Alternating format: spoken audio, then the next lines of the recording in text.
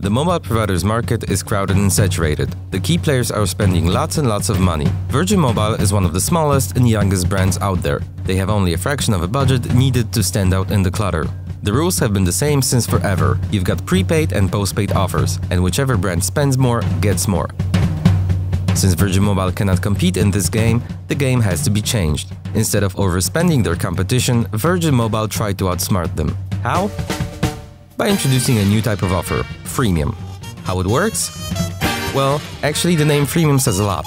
You order a SIM card online and each month you get a modest amount of minutes, text messages and LTE transfer, absolutely for free. No catches, no contract, no questions asked. And what happens when the free runs out? You're either charged on a pay-as-you-go basis or can purchase monthly upgrades through Virgin Mobile's mobile app like unlimited calls for a month, unlimited text, more data, and so on. After spending months on designing and implementing freemium, the offer was officially launched in October 2015 with a campaign focusing on video, outdoor, digital, and social media.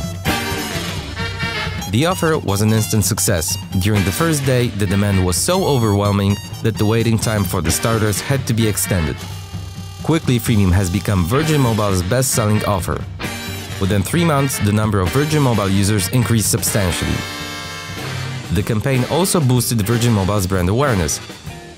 Since freemium was something entirely new, it was covered by every major tech and telecom website in Poland. And according to mymobile.pl, freemium was voted best offer on the market for four months in a row. Not bad. This goes to show you that you can still win in a crowded market if you have something new to offer. Thanks for watching.